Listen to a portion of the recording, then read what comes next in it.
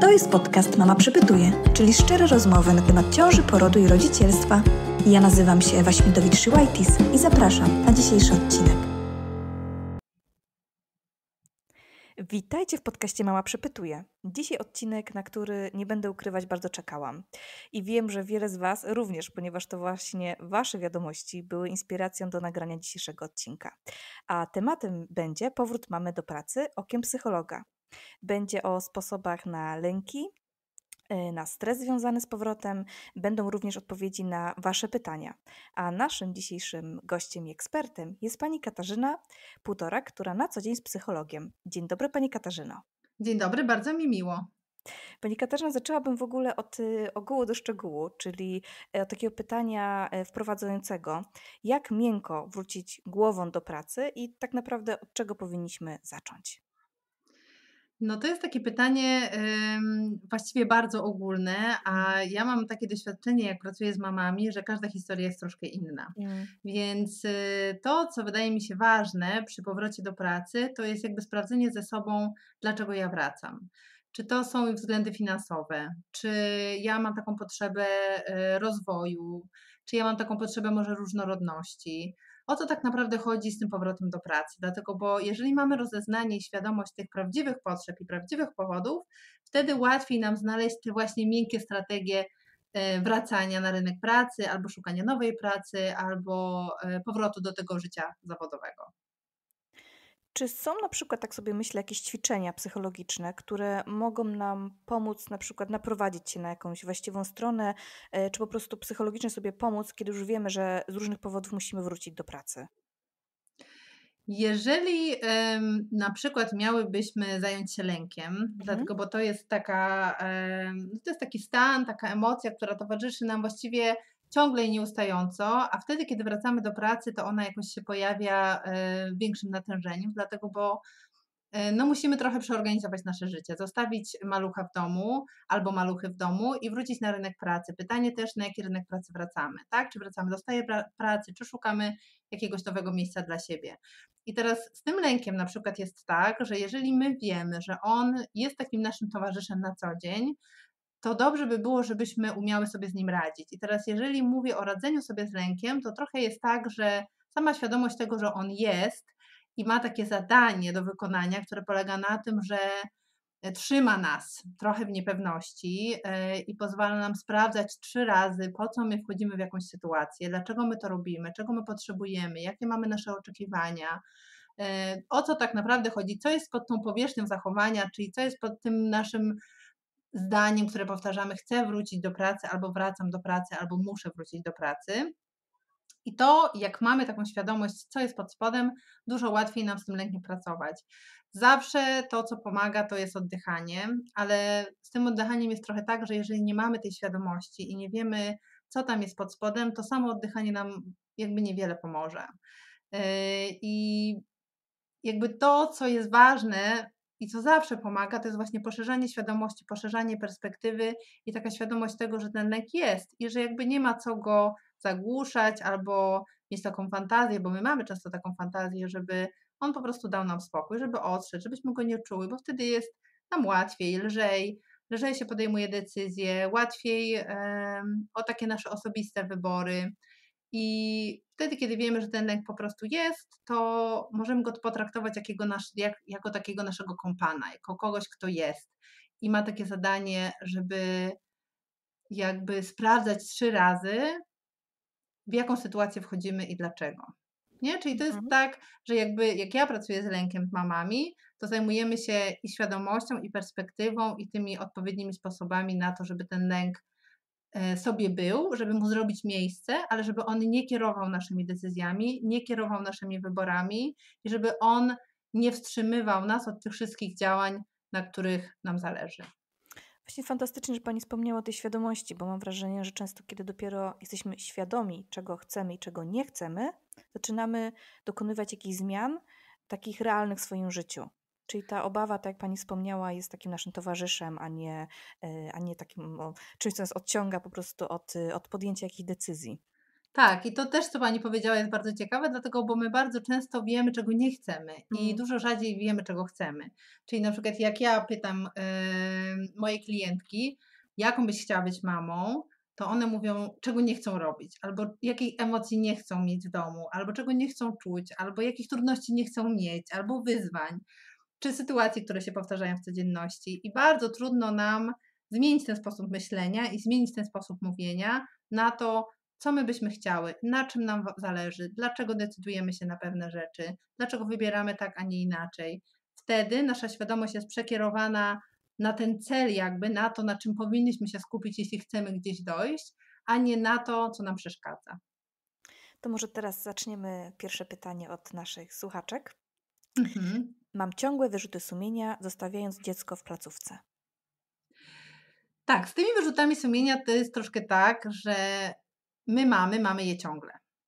Tak? Czyli to jest taki element naszej macierzyńskiej codzienności, która po prostu jest i to tak jak z lękiem nie daje się po prostu wymazać czy wyeliminować. I teraz znowu to, co my możemy zrobić, to zrozumieć, co nam te wyrzuty sumienia chcą powiedzieć. Tak? Czyli trochę zależy to od tego, dlaczego myśmy poszły do tej pracy, jak my się czujemy w tej pracy, czy ona daje nam satysfakcję, czy tam chodziło o tą różnorodność, czy tam chodziło o te finanse, czy tam chodziło o to, że potrzebujemy innych dorosłych ludzi, z którymi chciałybyśmy mieć kontakt. I wtedy ten, te wyrzuty sumienia jesteśmy w stanie zobaczyć w troszkę innej perspektywie. I znowu z tymi wyrzutami sumienia e, to jest tak, że one się łączą bardzo często z poczuciem winy. A z poczuciem winy można nauczyć się trochę rozmawiać. Tak? Czyli ja bardzo często proponuję tym mamom, które się do mnie zgłaszają, żeby sobie wyobraziły, że na ramieniu siedzi im poczucie winy. I to jest taki stworek, który cały czas coś mówi, tak? Mówi, źle zrobiłaś, że wysłałaś tego malucha do żłobka, źle zrobiłaś, że poszłaś do pracy, co z ciebie za mama, jak mogłaś coś takiego zrobić, jesteś egoistką i tak dalej, i tak dalej. Mhm. Każda z nas ma w głowie różne oceny, które nam się powtarzają i które kiedyś być może słyszałyśmy. I jest to bardzo też często związane z takim głosem krytyka wewnętrznego, który sobie gdzieś tam siedzi i czeka na okazję, żeby nam troszkę podokuczać. Mhm. I teraz, jeżeli my nauczymy się trochę gadać z tym naszym poczuciem winy, to możemy zobaczyć, że ono w jakiś dziwny sposób, ale jednak stara się o nas dbać. Czyli poczucie winy chciałoby, żebyśmy były zawsze na 100%, żebyśmy mogły i pracować, i się realizować w tym życiu zawodowym, i być maluchem, i nie przegapić żadnej chwili, która mogłaby nam umknąć, jeśli nie będziemy mu towarzyszyć e, rano, wieczorem, w południe i w nocy. Czyli to poczucie winy trochę stara się, trochę też jakby nie widzi perspektywy, tak? Czyli nie widzi tego, dlaczego my wybieramy. Ono nas tylko rozlicza. I to rozliczanie bywa bardzo bolesne, i dlatego dobrze by było znaleźć na to swoje poczucie winy, tak, bo to poczucie winy zazwyczaj mówi nam coś innego, to znaczy nie, może mówić coś innego, mamie jednej może mówić to, mamie drugiej może mówić coś innego, żeby zobaczyć, co to, jak to poczucie winy stara się o nas dbać i właściwie o co mu chodzi, żebyśmy my mogły mu po prostu odpowiedzieć i powiedzieć mu na przykład, słuchaj, ja wiem, że ty tam jesteś, że ty mi siedzisz na tym ramieniu, że ty byś chciał, żebym ja zawsze była na 100%, żebym ja była tu i tu, żebym ja niczego nie przegapiła, żebym ja mogła się realizować, żebym ja mogła być um, tam, gdzie mnie potrzebują, e, żebym ja mogła odpowiedzieć na potrzeby dziecka, swoje własne, męża, szefa, teściowej i nie wiadomo kogo jeszcze, ale tak się nie da i ja wybieram to, dlatego bo uważam, że tak będzie dobrze. Tak? I wtedy troszkę wytrącamy temu poczuciu winy te argumenty z ręki. Co nie znaczy, że on nie będzie się, czy ono nie będzie się tam dobijać do nas ponownie. Ale czas. nam jest dużo, bardzo często mamy mniej napięcia po prostu. Tak, y, przeglądając pytania od Was, słuchaczek, y, właśnie słuchając Pani e, psycholog, jeszcze przypomniało mi się jedno pytanie, mm-hmm. które też nawiązuje do tego, czyli jak radzić sobie z krytyką środowiska, rodziny, czy już osób w pracy, kiedy już wróciliśmy do pracy, na temat powrotu do, e, do pracy, ale na swoich warunkach. Tak. I to jest też bardzo fajne pytanie, dlatego, bo ono dotyczy granic. Mhm. Czyli tego, jak my wybieramy, dlaczego my wybieramy i jak my potrafimy tych naszych bronić tych naszych wyborów. I teraz to, co jest ważne w ogóle w stawianiu granic, to jest używanie tego komunikatu ja, czyli dla mnie jest ważne, ja czuję, ja potrzebuję. I posługiwanie się na przykład obserwacją, tak? Czyli jak posługujemy się obserwacją, to wtedy nie posługujemy się oceną. I wtedy jeszcze dodatkowa rzecz ważna jest, y, dotyczy tego, żeby, żeby się nie tłumaczyć. I ta trzecia mhm. rzecz, ta ostatnia rzecz jest bardzo często najtrudniejsza dla wszystkich, dlatego, bo mamy trochę w nawyku, żeby tłumaczyć nasze wybory, decyzje, to, co robimy, to, co mówimy, jak mówimy i tak dalej, i tak dalej. Natomiast kiedy zaczynamy podawać argumenty, dlaczego i zaczynamy się tłumaczyć, to te argumenty można zbić. A wtedy, kiedy mówimy, że coś jest dla nas ważne, że mamy jakąś potrzebę albo że czujemy to i to, to z tym nie można dyskutować, dlatego, bo to mhm. jest nasze wewnętrzne odczucie. Mówimy o naszych stanach emocjonalnych, o naszych potrzebach, o tym, co jest dla nas istotne, a to jest bardzo osobnicza sprawa. I wtedy ta druga strona ma trochę trudność, nawet jeśli by chciała nam trochę dokuczyć, w tym, żeby wdawać się w tą trudną dyskusję, dlatego, bo nie ma się o co zahaczyć. Bardzo fajnie, że Pani wspomniała o tych granicach, bo mam wrażenie, że mm, bez świadomości jest nam bardzo trudno wyznaczać te granice.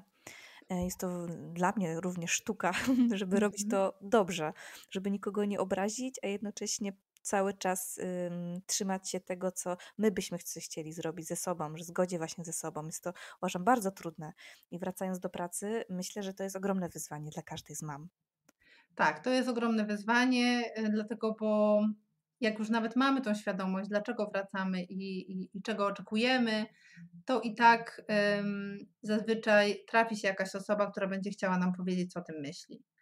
I jedną sprawą jest nauczenie się stawiania granic, e, tak żeby, żebyśmy czuły, że powiedziałyśmy to, co jest dla nas ważne, czyli mhm. że obroniłyśmy to nasze stanowisko, ten nasz wybór, ale powinnyśmy porzucić tą fantazję o tym, że ta druga osoba zawsze to przyjmie, mhm. albo że się zgodzi, albo że będzie w stanie nas zrozumieć. W stawianiu granic bardzo ważne jest to, że my bronimy siebie, naszej rodziny, naszych wyborów, naszych decyzji, naszych potrzeb, emocji, naszej historii. Natomiast to, co dzieje się po drugiej stronie, to jest poza naszą kontrolą. My tylko bardzo często miałybyśmy mieć taką, miałyśmy, jakby chciałybyśmy mieć taką e, władzę nad tym, żeby ktoś coś robił tak, jak my byśmy chciały, żeby ktoś widział nasz punkt widzenia, żeby ktoś rozumiał naszą perspektywę. No a to jest właśnie zupełnie po tej drugiej stronie i, i musimy zdawać sobie z tego sprawę, gdzie jest nasz obszar wpływu, czyli co my możemy zrobić, żeby poczuć się dobrze, a gdzie ten nasz wpływ już nie dociera. I się kończy. Tak, ta druga osoba. Tak sobie jeszcze myślę, jest takie, y, bardzo często spotykamy się, kiedy już na przykład kończy się nasz urlop macierzyński albo jesteśmy na wychowawczym i y, spotykamy kogoś y, rzadko, ale ktoś ciągle dopytuje, to kiedy wracasz do pracy? I zawsze wiem, że te dziewczyny, które tak spoglądam na nie, które widzę, widzę takie, jestem świadkiem takich scen, zawsze mi tak troszeczkę żal w środku, że mm, one widzę walczą ze sobą, czy się tłumaczyć, czy, czy zostawić to po prostu tak, jak jest. I myślę, że to też jest y, myślę, bardzo trudne, żeby też nauczyć ludzi, że, niektóry, że czasami pytania niektóre mogą kogoś urazić, albo jak pytać, żeby kogoś nie urazić, albo może lepiej nie zadawać po prostu takich pytań. Tak, pytanie dobrze też sobie zadać, jakby dlaczego my nie chcemy kogoś urazić, albo o co hmm. nam właściwie chodzi, wtedy, kiedy próbujemy tak skonstruować to zdanie, żeby ono nam przeszło przez usta tak. i jakby y, nie było skargą, oceną czy, czy czymś trudnym do przyjęcia dla tej drugiej strony. Więc y, no trochę to tak jest, że, mm, że bardzo często jak ktoś nas zaczepia o to, kiedy wrócimy do pracy, albo dlaczego jeszcze nie pracujemy, albo co my takiego tam robimy w tym domu mhm. i, i jakby trochę się zahacza o te nasze wybory, to my mamy taką pokusę, żeby się wytłumaczyć, żeby pokazać, że to, co robimy jest ważne, a to, co możemy zrobić zamiast, żeby nie wchodzić w tą dyskusję, która no, mhm. rzadko kiedy kończy się dobrze i, i, i z takim poczuciem e, spełnienia, satysfakcji i spokoju. Więc to, co możemy zrobić, to troszkę posłużyć się właśnie obserwacją, czyli powiedzieć na przykład: O, widzę, że to jest bardzo ciekawe dla ciebie, albo że to jest dla ciebie ważny obszar życia, praca zawodowa. I pewnie jesteś ciekawy, jak to wygląda u mnie. Tak? Czyli posługujemy się obserwacją i tym, jak my odbieramy to pytanie, które do nas pada i które jest w jakiś sposób niewygodne, ale nie ma w tym oceny. Po prostu pokazujemy swoją perspektywę odnośnie tego obszaru e, czy tego pytania, które pada. I wtedy ta druga osoba może powiedzieć: No tak, to jest bardzo ciekawe, bo ja na przykład miałam tak i tak, albo słyszałam, że to i to jest ważne, albo że to i to jest trudne, i wtedy przestajemy rozmawiać o nas i o naszych wyborach, tylko o tym, co stało za tym pytaniem tamtej osoby, co może prowadzić nas do różnych innych historii, które już nie są naszą historią. Mm, super, świetna rada. I teraz jeszcze często mamy problem w drugą stronę. Jak sobie radzić z, i odpowiadać na pytania typu na przykład taka mała i idzie do żłobka. A tak, to jest też bardzo, e, tak, to jest właściwie, to jest właściwie bardzo podobna sytuacja, tak. dlatego, bo to są takie tematy, które nas bardzo dotykają, bo my przecież jako mamy chciałybyśmy jakby jak najlepiej dla tych dzieci i wybieramy tak, jak wybieramy, bo coś za tymi naszymi wyborami stoi albo nasze potrzeby osobiste, albo potrzeby rodziny, albo potrzeby dziecka, albo, albo jakaś tam sytuacja. To, te nasze wybory w ogóle ludzkie czy kobiece są zawsze wypadkową um, historii osobistej, społecznej, emocjonalnej, całej rodziny i, i, jakby całego otoczenia, które jest dla nas istotne. Więc jak znowu jakaś um, życzliwa osoba zadaje nam takie pytanie, albo rzuca taki komentarz, że taka mała i już do żłobka, to znowu możemy zrobić bardzo podobnie jak wtedy, kiedy nas pyta, kiedy wrócimy w końcu do tej pracy zawodowej, tak? I powiedzieć, no słuchaj, widzę, że to jest jakoś ciekawe dla ciebie, albo widzę, że leży ci to na sercu, albo widzę, że leży ci na sercu dobro mojego dziecka, albo może masz obawy, że ona jest jeszcze za mała, albo widzę, że jesteś pełna niepokoju, jeśli chodzi o, o to, jak ona się odnajdzie na przykład w żłobku czy przedszkolu. Tak? Czyli możemy znowu odbić trochę tą piłeczkę i, i trochę przerzucić um, tą ciekawość, która jest kierowana na nas i na nasze dziecko i na mhm. naszą sytuację, w drugą stronę. To teraz już, y, jak sobie już poradzimy z tymi y, lękami, że tak powiem, wrócimy do pracy, e, mhm. zostawimy to nasze maleństwo w placówce albo w innej opiece, no to jak mhm. poradzić sobie z tą rozłąką? Z tą rozłąką jest tak, że ona bardziej, zazwyczaj bardziej do, dotyczy, czy dotyka mam tak. e, i tego naszego matczynego serca niż tego malucha. E, mhm. z, tym, e, z, tym, z tym rozstaniem, czy z tym odpowiednim czasem, kiedy, e, kiedy maluch powinien wylądować w żłobku czy w przedszkolu, to jest też tak, że nie ma takiego czasu, który, który jest jakby odpowiedni albo najlepszy.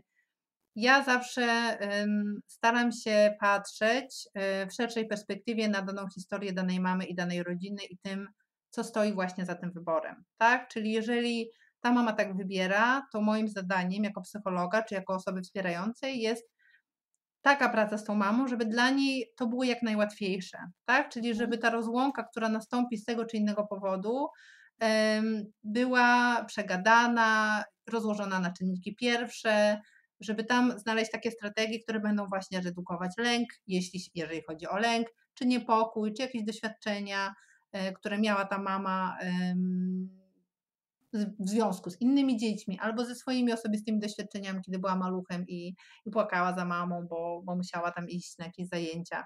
Czyli zawsze ważna jest istota, znaczy właściwie zawsze ważna jest decyzja mamy. Tak, jeżeli decyzja mamy jest taka, to my idziemy za tą decyzją i maluch czuje emocje mamy. To jest druga rzecz. Czyli naprawdę dobrze jest, kiedy my rozumiemy, co te emocje, które się w nas pojawiają z różnym natężeniem, chcą nam powiedzieć. Dlatego, bo z emocjami jest tak, że każda emocja przekazuje nam jakąś wiadomość. I jeśli my potrafimy tą wiadomość odczytać, to ta emocja potrafi rozrosnąć się do takiego rozmiaru, jak potrzebuje i minąć, i my nie potrzebujemy jej gdzieś tam zamiatać pod dywan, czy chować, czy tłumić, dlatego, bo ona wtedy odzywa się ze zdwojoną siłą. Czyli jeśli nam jest bardzo smutno i rozstajemy się z tym maluchem i mamy te wyrzuty sumienia i tak dalej, i tak dalej, to to jest bardzo naturalna sytuacja. Pytanie, które ja bym zadała takiej mamie, która się boryka z takimi stanami, brzmiałoby: Jak myślisz,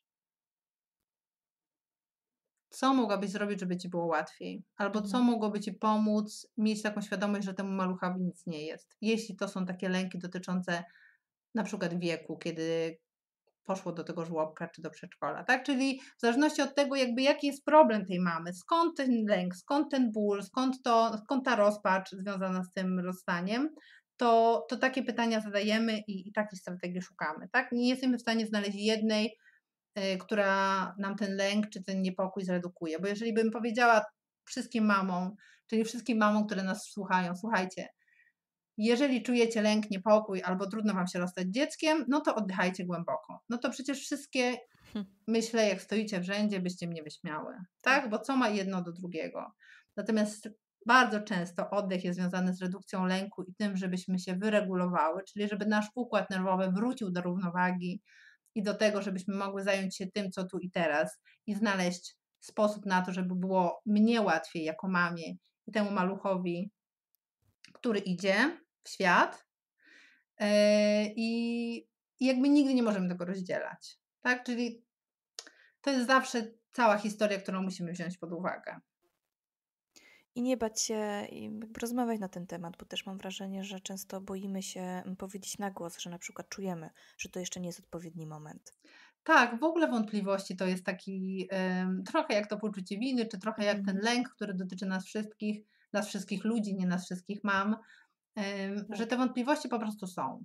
I, i mamy też bardzo często w świadomości taki taki skrypt, który mówi, że wątpliwości są czymś złym, że to jest jakaś oznaka braku kompetencji albo braku świadomości, a powinnyśmy już taką jakąś tą świadomość mieć, bo nam się wydaje, że, że to już jest ten etat, że powinnyśmy. Wątpliwości są i będą. To, że my mamy te wątpliwości, to jest oznaka tego, że szukamy, że próbujemy, że sprawdzamy, co służy mnie albo co, co służy dziecku. Że to jest taki obszar do poznania, że to nie jest nic złego, że te wątpliwości otwierają nam taką przestrzeń do tego, żeby się dowiedzieć, żeby sprawdzić, żeby było tak, jak chcemy, tak jak potrzebujemy, żebyśmy się czuły komfortowo, bezpiecznie na tyle, ile to możliwe i żebyśmy budowały to zaufanie do siebie. Dlatego, bo zaufanie do siebie mhm. to jest też coś, czego można się nauczyć. To jest coś, co można wyćwiczyć. To nie jest tak, że niektóre mamy rodzą się z zaufaniem do siebie, nie mają wątpliwości i idą jak burza i, i, i zawsze im wszystko wychodzi tak, jakby chciały. Dlatego, bo zaufanie do siebie to jest umiejętność. To tak jak odwaga, to też się ćwiczy. To odważanie się. Więc chciałabym Was zaprosić wszystkie do mhm. tego, żebyście się e, nie bały odważać, próbować, sprawdzać, rezygnować, jeśli dojdziecie do wniosku, że albo Wy, albo dziecko nie jest gotowe na ten krok i żebyście się nie bały tej oceny, która płynie z zewnątrz odnośnie tej decyzji, że hop, idziemy do żłobka, albo hop, jednak nie idziemy do żłobka, dlatego, bo te wątpliwości, które płyną do Was z zewnątrz, czy te oceny, które płyną do Was z zewnątrz, to jest zawsze historia o tej osobie, która te oceny wypowiada. Czyli po tamtej stronie są lęki, po tamtej stronie są doświadczenia, po tamtej stronie jest jakaś perspektywa i to wcale niekoniecznie dotyczy Was i Waszej sytuacji. Kiedy zostałam mamą, mam takie wrażenie, że macierzyństwo to taki przyspieszony kurs w ogóle asertywności, naprawdę. I jak tak, tak, to... tak, dokładnie tak. Asertywności, stawiania granic, tak. poszerzania tak. świadomości, perspektywy i dzieci nas pięknie zapraszają do tego, żebyśmy to razem z nimi ćwiczyły. Dokładnie. Myślę, że ten czas, kiedy jestem mamą, chyba naj, najbardziej mi nauczyło właśnie y, walczyć o swoje, że tak powiem. Tak, o własne przekonania, o to, na czym tak. nam zależy, E, dużo łatwiej jest wtedy, kiedy rozumiemy, skąd to się wzięło, czyli dlaczego nam zależy akurat na tym, e, albo dlaczego tak bardzo nas wkurza to, że ktoś coś mówi, albo że się wtrąca, albo że dobrze nam radzi, albo że w ogóle jakby nas zaczepia w jakichś takich tematach, które są dla nas bardzo osobiste. Ale to wszystko to wszystko wygląda w ten sposób, że jakby jeżeli ktokolwiek do nas cokolwiek kieruje, to to jest zawsze o tym kimś. To, co mhm. ludzie mówią, to, co ludzie robią, to jest zawsze o nich. Bardzo często trafia to w nas, jeżeli nie umiemy tych granic postawić albo czujemy, że, że nie mamy tego zaufania do siebie, to wtedy te oceny uderzają na przykład w nasze poczucie kompetencji. A wtedy, kiedy uderzają w nasze poczucie kompetencji, to my się rozpadamy, dlatego, bo przecież czujemy, że powinnyśmy być kompetentne, bo jesteśmy dorosłe, mamy tutaj takiego malucha, musimy się nim zająć, musimy wiedzieć. Wcale nie musimy wszystkiego wiedzieć, wcale nie musimy być konsekwentne. Możemy zmieniać zdanie, próbować, sprawdzać i wybierać z tego, co chcemy. Dokładnie i też myślę, że ten takie urlopy mm, macierzyńskie, wychowawcze, czy w ogóle ten czas z dzieckiem, e, czyli takie troszeczkę wyjście z tej takich mm, trybu życia, które prowadziliśmy przed, to też Mhm. e, może być takim dobrym momentem, żeby się zastanowić, co byśmy chcieli robić dalej z, e, ze sobą, z naszym życiem. Może być to na przykład szansa na inną ścieżkę zawodową, na może otworzenie własnej działalności. E, Myślę, że takich historii też wokół nas jest dużo, że, e, że właśnie to macierzyństwo zmotywowało bardzo wiele osób do całkowitej zmiany ścieżki zawodowej e, w takiej zgodzie ze sobą. I myślę, że o tym też warto pamiętać, e, że to może być też dla nas szansa, żeby się zastanowić nad tym, co byśmy chcieli tak naprawdę robić w życiu. Tak, dokładnie tak jest, że my wtedy mamy więcej czasu, ale w takim sensie nie, że mamy w ogóle więcej czasu, bo Mhm. to e, nie jest do końca prawda. Wszyscy wiemy, jak wygląda zajmowanie się dzieckiem, domem i tymi wszystkimi sprawami, które są niewidzialne. Ale e, bardzo często jest tak, że wtedy, kiedy nie mamy tej presji wykonywania obowiązków zawodowych i jesteśmy trochę oddalone od tych wszystkich tematów związanych ze sferą zawodową, to możemy trochę y, cofnąć się w tej naszej ścieżce zawodowej i zastanowić się, czy ta drabina, po której się wspinamy, stoi przy właściwej ścianie. Czy te wybory to są dalej nasze wybory? Czy może coś się zmieniło? Może dojrzałyśmy do innych y, decyzji? A może po prostu chcemy się zająć czymś innym? A może pojawiły się nowe możliwości finansowe, społeczne, emocjonalne? Może są związane z miejscem, z przeprowadzką, z naszą dojrzałością, z mnóstwem różnych rzeczy mogą być związane, z inspiracją, która się nagle pojawiła, z odwagą czasem, żeby ruszyć, bo kiedyś nam się wydawało, że to bez sensu i, i się nie uda, a teraz mamy takie poczucie, że, że dlaczego właściwie miałobyśmy nie spróbować. Także bardzo często ten okres, kiedy jesteśmy z dziećmi czy z dzieckiem w domu, daje nam też taką przestrzeń osobistą do tego, żeby, żeby spróbować czegoś nowego, żeby podjąć jakąś inną decyzję, żeby żeby dać sobie też prawo do tego, by zobaczyć, jakby to było w tej innej wersji. Jakby to Mhm. było, co tam jest po drugiej stronie tej decyzji, po, co tam jest po drugiej stronie strachu. E, To Pani Katarzyno, to teraz może takie top 4 wskazówki. Mhm. Jak ułatwić sobie powrót do pracy po urlopie macierzyńskim, wychowawczym? Top cztery wskazówki. To Tak. po pierwsze, e, zastanowić się, po co ja naprawdę wracam. Tak? Mhm. Czyli jaka potrzeba, jaką potrzebę chcę zaspokoić. To jest bardzo ważne. Nawet jeżeli wiemy, że chcemy wracać ze względów finansowych, to i tak możemy poszukać głębszej potrzeby, która za tym stoi. Tak? Dlatego, bo te finanse są nam do czegoś potrzebne. Może być to związane z poczuciem bezpieczeństwa, może być to związane z, z jakimś równym podziałem obowiązków, może być to związane z tym, że chcemy mieć taką, że mamy taką potrzebę równych szans, że nam się wydaje, że wtedy, kiedy my będziemy pracować i partner będzie pracować, to jesteśmy równo, równoważni w naszym, Mhm. e, w naszym związku. Czyli poszukać tych potrzeb i sprawdzić, o co mi naprawdę chodzi, kiedy wracam do pracy. Druga rzecz, ym, zdać sobie sprawę z tego, że lęk, że poczucie winy, że one po prostu są. Tak jak też wątpliwości i tak jak te wszystkie emocje, którymi się zazwyczaj nie zajmujemy, bo są łatwe i przyjemne, ale to jest część krajobrazu bycia mamą. I poszukać takich strategii, które nam pozwolą ten lęk zredukować. Czyli znowu zastanowić się, o co temu lękowi chodzi wtedy, kiedy on puka, czy o co chodzi temu poczuciu winy wtedy, kiedy ono siedzi nam na ramieniu i nadaje do nas i mówi słuchaj źle i tak dalej, nie w tym momencie, znowu to zrobiłaś albo znowu nie zrobiłaś. Poszerzać świadomość, na spokojnie sprawdzać, co tam jest pod spodem. Trzecia rzecz, granice. Czyli nie bać się ćwiczyć stawiania granic. Najpierw znaleźć te granice, dlatego bo te granice w różnych relacjach stoją w różnym miejscu. One się też potrafią przesuwać w zależności od tego, ile mamy zasobów na przykład, albo umiejętności, albo co to za sytuacja, czy to jest jakaś nowa, czy taka, która się powtarza. Więc stawiać granice, nie tłumaczyć się i, i sprawdzać, y, jak się czujemy wtedy, kiedy udało nam się te granice postawić. Tak? Czyli trochę wytrzymywać te emocje, które płyną do nas wtedy, kiedy stawiamy te granice pierwszy raz w życiu, czy drugi raz w życiu w danej relacji i oddzielić historię naszą, nasze potrzeby, nasze emocje od tego, co się dzieje po drugiej stronie. Po stronie tego kogoś, kto próbuje nam coś narzucić, jakoś nas ocenić i, i wrzucić swoje trzy grosze do naszego życia. To trzecia rzecz. Tak, jeszcze I ostatnia. czwarta, e, to ćwiczyć zaufanie do siebie.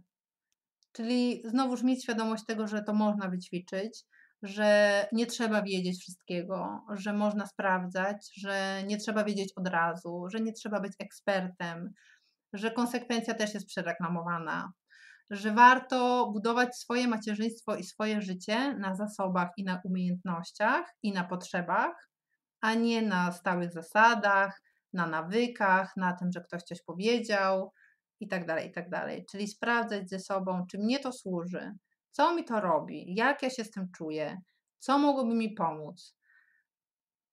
Jak mogę tą sytuację obrócić tak, żeby, było, żeby, żeby była bardziej komfortowa? Co powoduje, że czuję się bezpiecznie? Co powoduje, że czuję się kompetentna? Co sprawia mi radość? Jak bym chciała, żeby to moje macierzyństwo wyglądało? Jak chcę nim kierować? Bo pamiętajmy, że wszystko to, co robimy, pokazuje naszym dzieciom, co się robi wtedy, kiedy napada nas złość, mhm. poczucie winy, frustracja, bezsilność, ale też radość, smutek, rozczarowanie i tak dalej, i tak dalej. Wszystko, wszystko, co jest w tym naszym krajobrazie codzienności, i to jak my sobie z tym radzimy, co my z tym robimy, pokazuje naszym dzieciom, co się z tym robi. Więc im my będziemy miały więcej świadomości i umiejętności i zaufania do siebie właśnie, tym naszym dzieciom będzie też łatwiej ten temat jakoś ogarnąć. Mogę Wam zdradzić, że najczęstszym pytaniem, jakie dostałam od Was, y, kiedy mm, powiedziałam, że będziemy w ogóle nagrywać taki odcinek, było jak pogodzić macierzyństwo z życiem zawodowym, czyli jak złapać ten balans między tymi dwoma sferami. Myślę, że to takie mhm. pytanie, temat rzeka.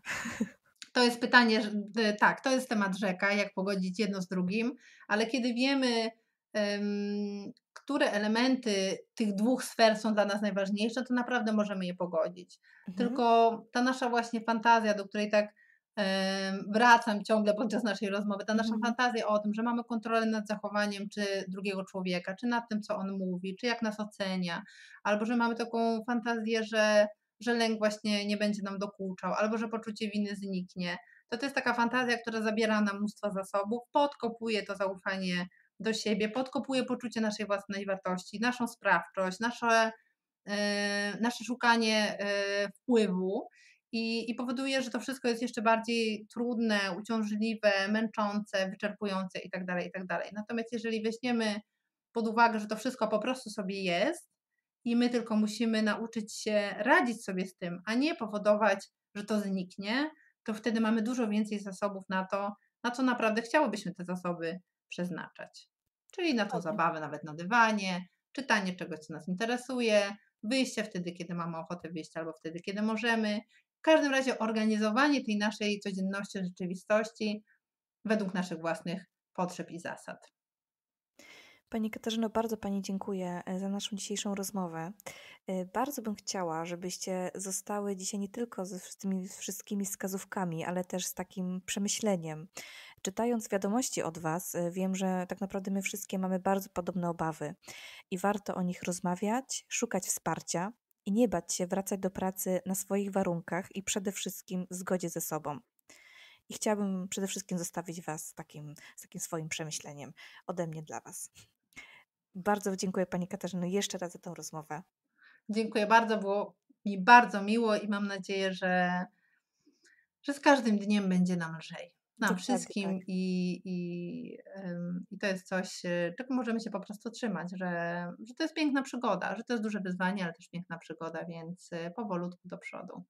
Każda zmiana zawsze budzi jakieś obawy, ale właśnie, żeby mieć tą świadomość, jak zrobić to w zgodzie ze sobą, o których dzisiaj Pani e, wspominała, myślę, że nam to bardzo, bardzo pomoże i jakby łatwiej będzie nam wrócić do tej pracy i do tego wejść w ten rytm zawodowy. Tak, trzymamy kciuki w każdym razie. Trzymamy kciuki i myślę, że, że powolutku każda z nas tą drogę znajdzie. Dokładnie. Dziękuję jeszcze raz i do usłyszenia w następnym odcinku. Dziękuję bardzo.